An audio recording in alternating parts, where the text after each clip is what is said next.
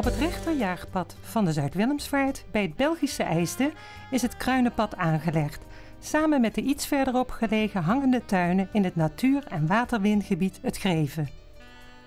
Vanaf de Kanaaldijk in IJsde-dorp voert een stalen wandelpad van 180 meter en versterkt door een vijftal stalen torens door de kruinen van de bomen.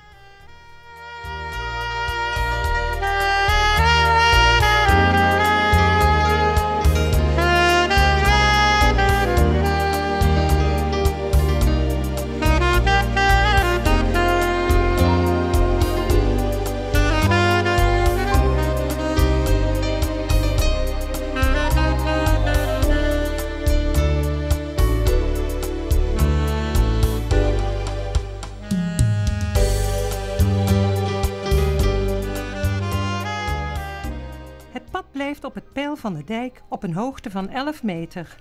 Nu is het mooi groen, maar in de winter zie je het water borrelen. Eigenlijk is alles begonnen vanuit het netwerk IJsde Dorp.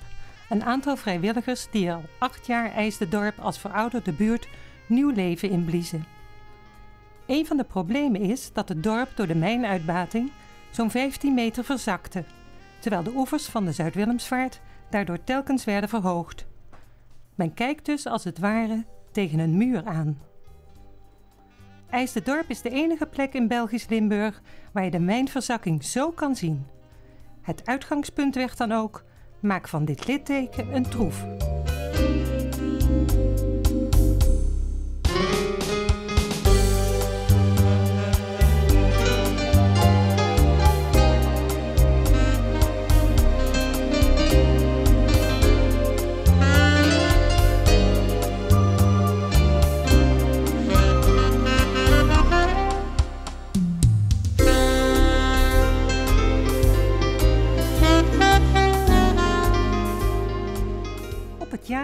Staat een informatiezuil waar de bezoeker tekst en uitleg krijgt over de historie van dit mijngebied.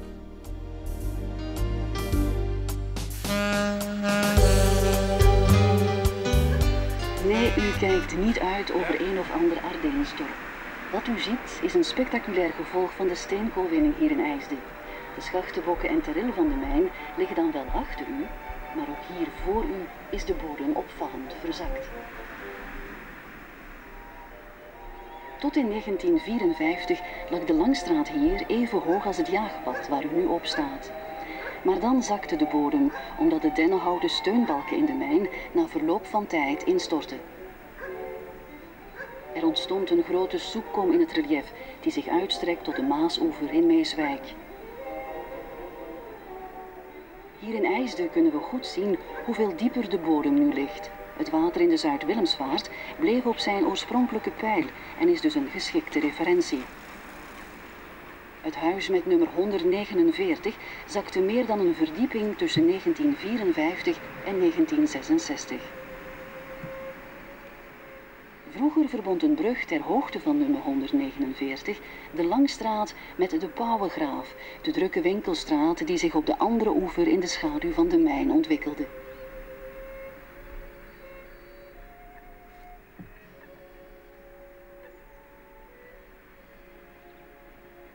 Na de verzakking moest de brug vervangen worden door een nieuwe, links van u.